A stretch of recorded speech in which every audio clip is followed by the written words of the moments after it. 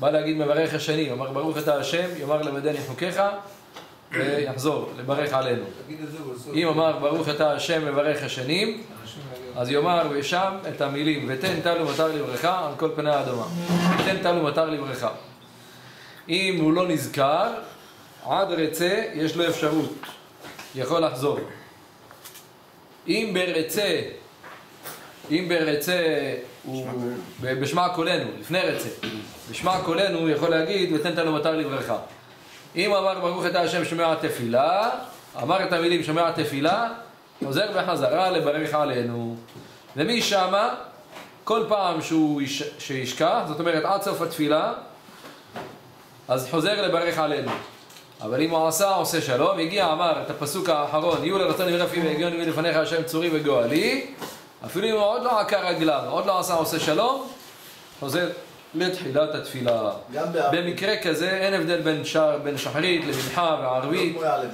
בכל התפילות הוא צריך לחזור.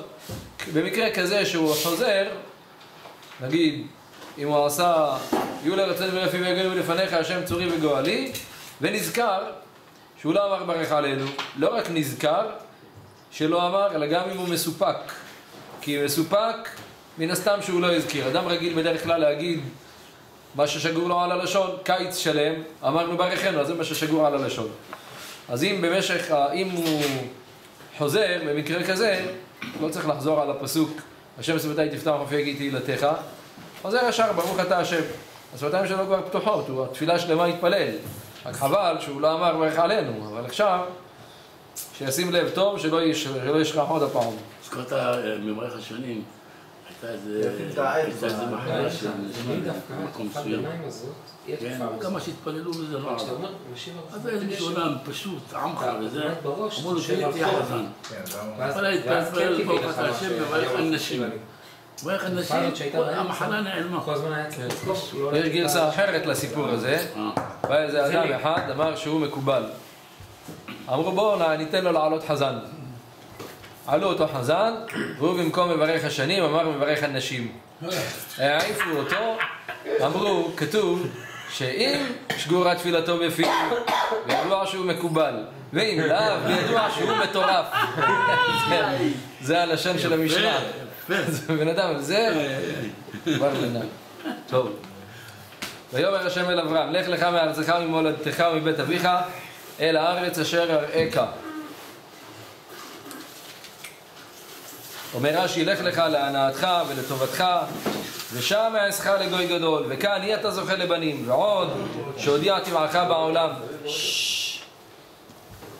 כאן יש רמז מארצך וממולדתך ומבית אביך. המשנה אומרת, עקביה בן מהללל אומר, הסתכל בשלושה דברים ואין אתה בא לידע עבירה. דע מאין באת ולאן אתה הולך ולפני מי אתה עתיד ליתן דין וחשבון. ואז כשאדם מתבונן בדברים האלו, אז הוא לא בא לידע עבירה. אבל הקדוש ברוך הוא אומר לאברהם, לך לך. אם אתה רוצה להגיע למדרגה של הולך, לא עומד, מלאך, איך שהוא נוצר, ככה הוא. כמו שהפסוק אמר, ונתתי לך מהלכים בין העומדים האלה. המלאך נקרא עומד, הוא לא יכול להתקדם. אבל אדם, הוא יכול להתקדם. הוא עד היום היה במצב מסוים, קיבל על עצמו חיזוק בעוד דבר, בעוד פרט, אז הוא עלה, אז הוא התקדם, הוא לא מה שהיה. אומר לו הקדוש ברוך הוא לאברהם, אתה רוצה להתקדם? לך לך, קח לך שלושה דברים. מארצך, זהו לאן אתה הולך, ממולדתך, זה מאיפה האדם, מאין באת, ומבית אביך תיקח מוסר, לפני מי האדם העתיד ליתן דין וחשבון, לפני אבינו שבשמיים. ואז עם זה, אל הארץ אשר אראך. אז בן אדם יכול להגיע לארץ העליונה, זה גן עדן העליון, כשהוא ייקח את המוסר משלושת הדברים האלו. כי באמת העיקר זה ההתבוננות שאדם מתבונן בתכלית, מה אני צריך לעשות. זה יסוד החסידות ושורש העבודה, ככה פותח המסילת ישרים. יסוד החסידות ושורש העבודה שיתברר ויתעמת אצל האדם מה חובתו בעולמו. השבוע היה הפטירה של מור חבי הרב חיים, זכר צדיק לברכה. בליל האזכרה היה ממש מרנין את הלב באשדוד, עשו סדר לימוד גדול, 250 אברכים ישבו שם בליל ההילולה מ-10 עד 12, ישבו ולמדו הפלא ופלא, כבר כמה שנים שעושים את זה. מה זה? שיושבים אברכים, נותנים להם כמה סכום מסוים, ויושבים ולומדים, היו נשמה גדול. אמרתי למישהו, מי יודע כמה נחת רוח יש לנשמה למעלה בשמיים כשהיא מקבלת כאלה דרישות שלום, זה תלמוד תורה של רבים, מאות אברכים, זה גם מאות אברכים, זה גם זכות של צדקה גדול, מה שהם מקבלים, האברכים. אז אמר, אמרתי למישהו, נו, אם באמת הזכות של הלימוד היא כל כך גדול, אנחנו לא מבינים בזה, אין לנו הבנה והשגה בעידון הגדול שיש לנשמה שהיא נהנית מזה. אבל אם באמת הלימוד תורה זה העילוי נשמה הכי גדול שיש, אז למה באמת, ככה שאל הרב שך, אבל אסור ללמוד תורה, אבל אסור בלימוד תורה. שישב, יקרא קדיש, ילמד כמה הלכות שקשורות לאבלים, אבל אבל אסור בתלמוד תורה. אז אמר הרב שך, אם אתה אומר שהתלמוד תורה כנגד כולם זה הנחת רוח הכי גדולה שיכולה להיות לנפטר, אז למה לא ילמד תורה? הוא לא ממוקד. אומר, המס... אומר הרב שך, יש פשטים, יש, יודע שהם ישרים משמחי לב, אבל אמר הרב שך, יש משהו שהוא חשוב יותר מלימוד תורה. כשאדם נפטר לו מישהו, לא עלינו ולא עליכם, רק על שונאי ישראל, אומר אבל ברגע, בן אדם במצבים כאלו, אז הוא פתאום תופס את עצמו. אומר שבמצבים כאלו, שבן אדם יתפוס את עצמו ויתחיל להתבונן על התכלית של החיים, מה אני יכול להתקדם, מה אני יכול להשתדרג, לא להישאר איפה שאני נמצא.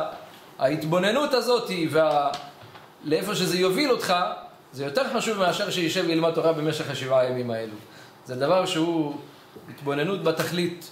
רואים שבן אדם במהלך העסקים שלו, כל הסוחרים למיניהם, אז הוא יושב ועושה חשבונות בסוף שנת המס, כמה נכנס, כמה יצא, משתלם, אם זה רווחי או לא. בן אדם עושה חשבונות. חש... כל כך שעות על גבי שעות בן אדם יושב ועושה חשבונות ומשלם כסף למנהל חשבונות, מנהל בטיח, רואה חשבון.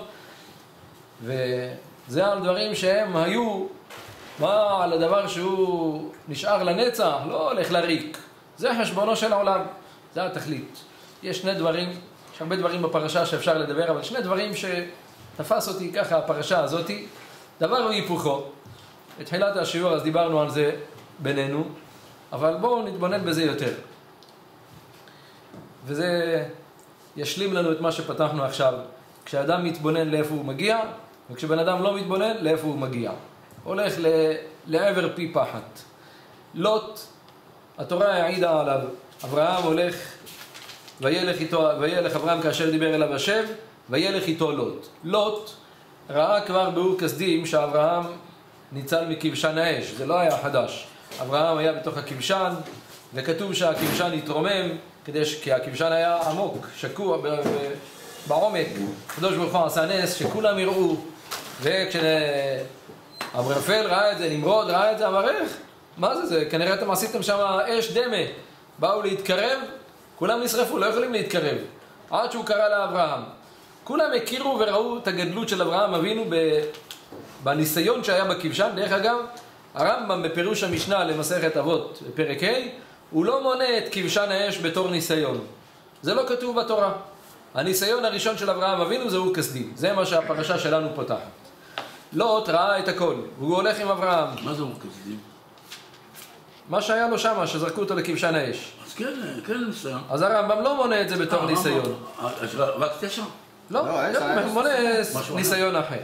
עכשיו, לוט הולך עם אברהם. כשהם מגיעים לשם, יש רעב, מגיעים למצרים, כתוב, אחרי שאני מדלג על הכל, ויעל אברהם ממצרים הוא ואשתו וכל אשר לו ולוט עמו הנגבה. אברהם כבד מאוד וגם ללוט ההולך את אברהם היה צאן ובקר ואוהלים, היה לו הרבה, גם ללוט. מי גרם שהיה לו את כל זה? אומר רש"י, הליכתו עם אברהם. אדוני, אם אתה היית נשאר שם באור כסדים, חצי דרוויש היית, לא היה לך, שום דבר לא היה לך. אבל הלכת עם אברהם, וגם ללוט ההולך את אברהם היה צאן ובקר ואוהלים. ויהי ריב, אברהם הגיע שעת המבחן, אומר לו אברהם, היפרד נא מעליי. לאיפה אתה רוצה ללכת? ויישא לוט את עיניו. ויישא לוט את עיניו, לאיפה הלך? אין ויישא אלא לשון עבירה, עבירה. כאן כתוב ויישא לוט את עיניו, ובפרשת וישב כתוב ותישא אשת אדוניו את עיניה. שמה זה היה עבירה, גם פה ויישא לוט את עיניו, וירא את כל כיכר הירדן. אדוני, תדע לך, הראש שלו אוחז בשטויות. הוא כבר מדמיין, הוא צמוד לאברהם, הוא יודע שכל מה שיש לו זה בזכות אברהם, הוא העשיר בזכות אברהם, וזה מה שמעניין אותו. הוא הולך לסדום, וזה לא נגמר. הוא הלך לסדום, יש לנו בהמשך את הפרשה. אנשי סדום רעים וחטאים. וייסע לוט מקדם, אומר רש"י, הסיע עצמו מקדמונו של העולם, אמר אי אפשי, לא באברהם ולא באלוהיו. אבל זה לא נגמר. טוב, בן אדם יכול לעשות פעם טעות. טעה. אבל כשהייתה מלחמת העולם הראשונה בהיסטוריה, עם ארבעה, ארבעה מלכים עם החמישה, והם באו ושבו את לוט ויקחו את לוט ואת רכושו ואת כל, לקחו את כולם. אברהם מבין, זה שעת מבחן, אני צריך עכשיו ללכת ולהציל את לוט. אברהם הלך והציל את לוט. מה לוט עשה? לוט. היה אפשר, נו, תתעורר קצת, ראית שעזבת את אברהם, הסיע עצמו מקדמונו של העולם. באו, שבו אותך, קיבל סטירה מצלצלת, תחזור בחזרה לאברהם, תנשק לו את היד, ותלך איתו. איפה, מה הוא עשה? חזר בחזרה. כל סדום חזרו למקומם, מלך סדום חזר למקומו, גם לוט חזר איתם. מאיפה רואים? פרשה הבאה כתוב, ויהי בשחט אלוהים את ערי הכיכר, ויזכור אלוהים את אברהם, וישלח את לוט מתוך ההפכה. לוט היה בסדום. אדוני, הצילו אותך. תראה לאיפה אתה מגיע. כשאדם לא מתבונן, הוא לא תופס את עצמו, אז הוא מידרדר ומידרדר ומידרדר בלי לשים לב. ולהפך, אברהם אבינו לימד אותנו עד כמה האמונה חזקה. אנחנו רגילים תמיד לומר, תמיד אנחנו חושבים ככה, יש ניסיון, יש שתי אפשרויות להסתכל על ניסיון. יש ניסיון שמנסים את הבן אדם. אתה תעמוד בניסיון או לא תעמוד בניסיון? תשמע, יש לי הרבה הפסדים. אני אעמוד בניסיון או לא אעמוד בניסיון?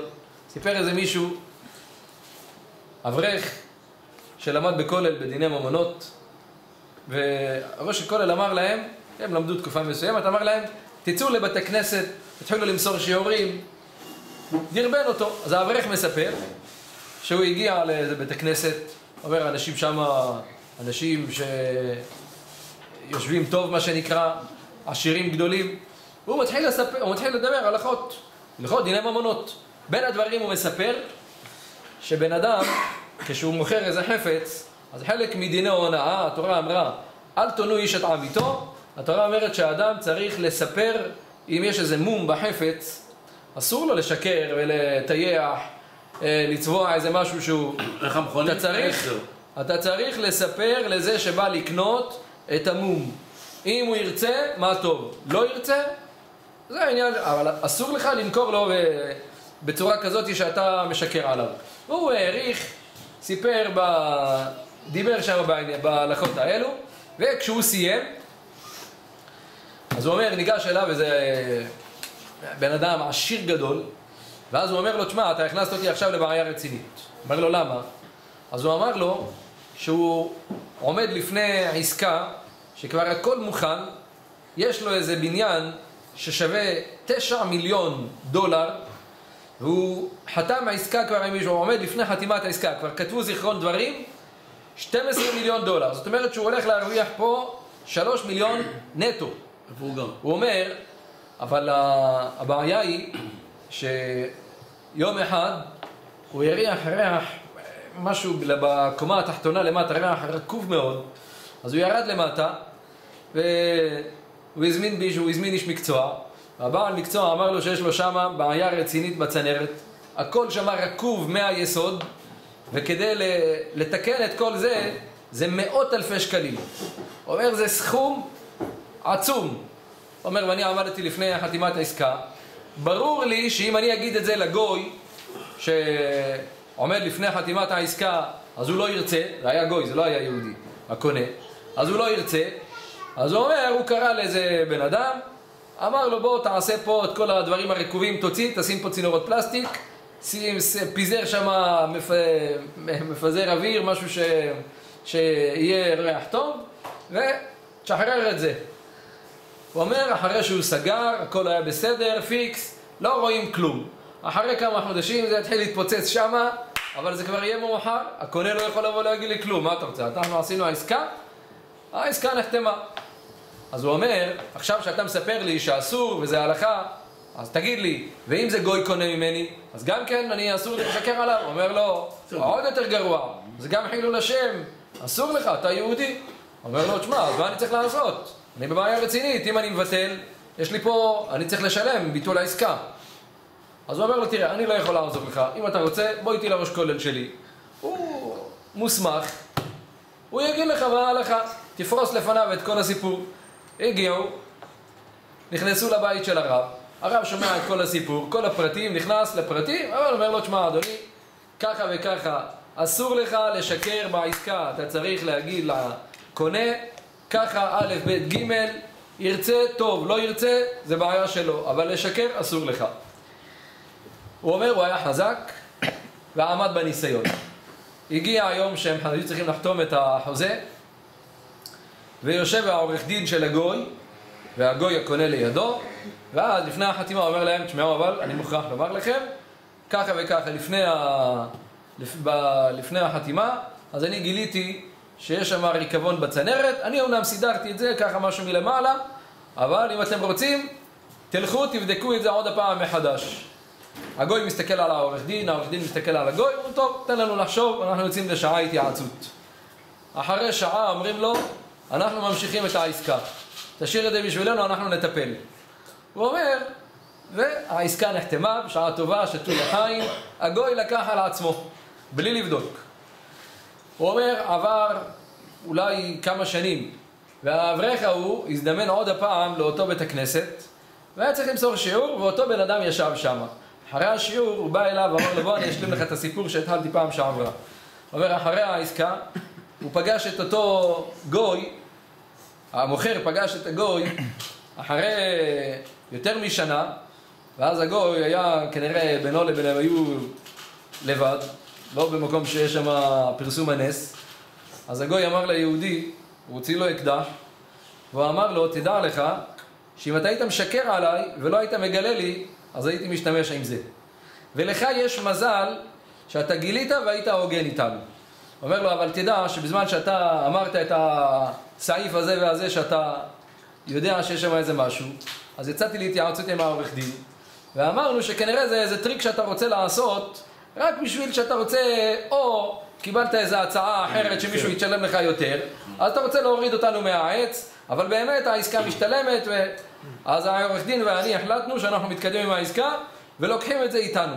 אבל תדע לך שכמעט שנה לקח לי לתקן את כל הפיצוץ שמה, ושילמתי על זה הון רב. אז הוא אומר, תראה מה זה. בן אדם בזמן הניסיון, הוא חושב, שמע, אני הולך להפסיד עכשיו 12 מיליון. זה ה... וזה הקדוש ברוך הוא מעמיד אותך בניסיון. זה ניסיון שהוא אמנם ניסיון, אני לא ממעט בניסיון הזה, אבל זה ניסיון שבוא נשמע עכשיו את הניסיון השני, וזה ניסיון קטן לעומת הניסיון השני. יש עוד ניסיון, שבן אדם עושה באמת רצון השם, עומד בניסיון, אבל הוא לא מקבל פידבק כזה. אחרי שהוא עשה את הניסיון, קיבל סטירה מצלצלת. והוא עומד עוד פעם בניסיון וקיבל עכשיו סטירה בצד השני. וזה הניסיון, אומר הרמב"ם בפירוש המשנה למסכת אבות, זה הניסיון שהיה לאברהם אבינו כסדר. הקדוש ברוך הוא אומר לאברהם, לך לך מארצך, אעשך לגוי גדול, תראה כל כך הרבה, הוא אומר לו, אני אשפיע לך וייתן לך. והוא מגיע לשמה, ויהי רעב בארץ. וזה מה שהבטחת לי, טוב, יורד למצרים, מן הפח אל הפחת. לוקחים לו שמה את uh, שרי. אברהם הולך, רוצה לעקוד את, uh, רוצה לעקוד את יצחק, אחרי עקדת יצחק, הוא מגיע, שרה נפטרה. שרה נפטרה, רוצה מחפש קבורה, צריך לשלם 400 שקל כסף על איזה חלקת קרקע. ריבונו של העולם, הבטחת לי את הארץ הזאת, לך אתננה. איך אני צריך לשלם על איזה חלקת קרקע? 400 שקל כסף עובר לסוחר. אברהם מקבל סטירה על ימין ועל שמאל. וזה הניסיון להודיע חיבתו של אברהם אבינו שעמד בכולם. זה הניסיון. הרבה פעמים בן אדם מקבל על עצמו איזה חיזוק ואומר, אני מקבל על עצמי איזה דבר ככה וככה. קיבל על עצמו, נשאר בבית הכנסת עד סוף התפילה. נשאר בבית הכנסת, פספס את האוטובוס.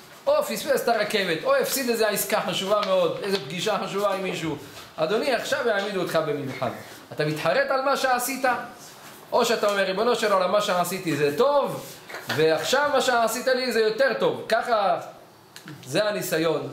זה הניסיון, זה אברהם אבינו, מעשה אבות סימן לבנים, לימד אותנו להאמין והאמין בה השם, ויחשביה לא צדקה. והאמין בהשם, להאמין ולדעת שכל מה שהקדוש ברוך הוא עושה לטובתנו. הגאון הנציב אומר, תראו שאברהם אבינו כשירד למצרים, לפני שהוא הגיע, יש לאברהם אבינו תוכניות. תוכניות מכאן ועד מקסיקו. מה לעשות? הוא כבר לפני כן מדבר עם שרה. שרה, תשמעי, אנחנו עכשיו מתקרבים, המצרים עלולים לראות אותך, ייקחו אותך, זה מסוכן. את תגידי, אחותי את. אנחנו, לא אשתי. טוב, התקרבו עוד קצת, כנראה אברהם פחד. כתוב במדרש שהוא שם אותה בתיבה. עכשיו, אברהם יש לו תוכניות במזוודה, איך להחביא את שרה. בהתחלה, תגידי, אנחנו אנשים אחים. אחר כך, שם אותה במזוודה. אולי עכשיו, טוב, הוא מגיע לשמה, אומרים לו, תפתח. אז הוא, יאללה, מה אתה רוצה, קצת בקשיש? אני אתן לך כמה לירות. ותשחרר אותי. לא, כנראה שיש פה איזה סחורה משובחת מאוד. אומר לו, מה הסחורה הכי, הכי יקרה שיכולה להיות? מה, יהלומים? דינרי זהב, מטילי זהב? אני אתן לך מס לפי מטילי זהב, רק תשחרר אותי. לא, תפתח. כל התוכניות של אברהם אבינו, מה שאברהם רוצה לעשות כדי שייתנו לו לעבור את הגבול, זה לא עוזר לו. רבי נתנאי בישיץ אומר שהוא ליתר ביטחון לקח איזה משחה שחורה, לא יודע מה, ומרח על הפנים של שרה, וככה על הצד שכל התירוצים האלו והשכנועים האלו לא יעזרו לו, הוא יפתח את הזה ויראו אותה שחורה כפחם, טוב יאללה, כאלה שחורות יש הרבה במצרים, תעזוב אותו. וגם זה לא עזר. ופתחו את התיבה, ויראו אותה ויהללו אותה אל פרעה. אומר, ומה עשו בסופו של דבר? ולאברהם היטיב בעבורה, ויהי לו צאן ובקר ועבדים ושפחות. אומר הגאון הנציב, תראה, בן אדם יש לו תוכניות, תוכניות, תוכניות, אני אעשה ככה, ככה, ככה, ככה, ככה. והקדוש ברוך הוא מוריד לך את כולם, כך, כך, כך, פאק. ב-X אחד עשה לך תוכניות על כולם, והפך לך את הקערה ועשה לך תוכנית אחת יותר טובה מהכל. תראה, תאמין בהשם, תפסיק אתה לחשב את החשבונות של הקדוש ברוך הוא. תן לקדוש ברוך הוא, אל תהיה סגן ולא מנהל העולם. תן לו, הוא יודע יותר טוב לנהל את העולם. תראה איך הוא באמת בחסד ורחמים. אם אברהם היה מגיע למצרים, מחביא את שרה באיזה צימר, אני יודע שמה, וגרים בשקט, הולך, קונה בכסף שיש לו, מי היה יודע עליו בכלל? ולהפך, ואדרבה, מעז יצא מתוק, לקחו אותה לפרעה. אם היה לוקח אותה איזה מצרי בקהיר, או לא יודע מה, זה בן אדם פשוט, אברהם היה הולך, משחד אותו, עזוב אותה, זקנה, אנחנו עולים חדשים, תן לי, אני משחררת אותך עכשיו בכסף. אבל לקחו אותה למלך. את המלך אתה לא יכול לשחד. אז אברהם יושב, ריבונו של עולם, כן, ריבונו של עולם יעזור לך. ועוד איך הוא יעזור לך. ותראה כמה הוא קיבל. עכשיו, אני מסיים בזה. אברהם נתן לפרעה את צרה. פרעה לקח את צרה בלי שרצה. כתוב, לאברהם היטיב בעבורה. קיבל אברהם, החשבון בנק שלו גדל, העדרים, צאן ובקר. אחרי זה, וינגע השם את פרעה נגעים גדולים. קיבל צ'פחות, לא רק הוא, גם הוא והבתים שלו, גם הבית שכתוב על ביתו. פירוש אחד ברש"י, גם הקירות של הבית נתמלאו בשחין ובצרעת. אז פרעה אומר, מה קרה? לא, זאת אשתי. למה אמרת אחותי? פרעה שלח אותו. לפי, ה, לפי ההיגיון, אם פרעה, אם שרה היא אשתו של אברהם, מגיע לו כל המתנות שהוא קיבל? לא מגיע לו. הרי כל מה שאתה קיבלת את המתנות זה רק בגלל שאמרת שהיא אחותך.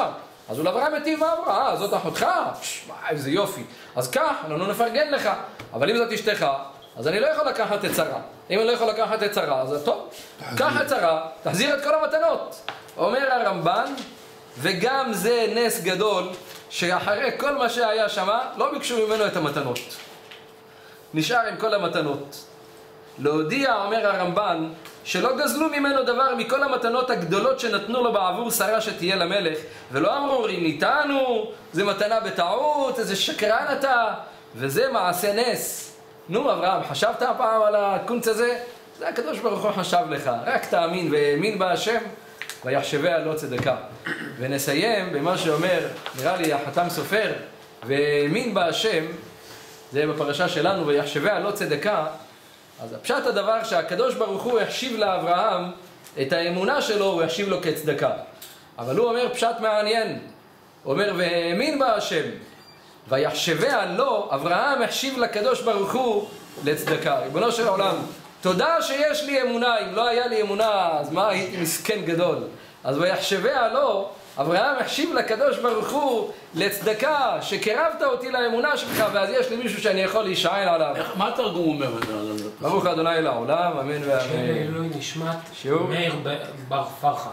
לעילוי נשמת מאיר בר פרחה.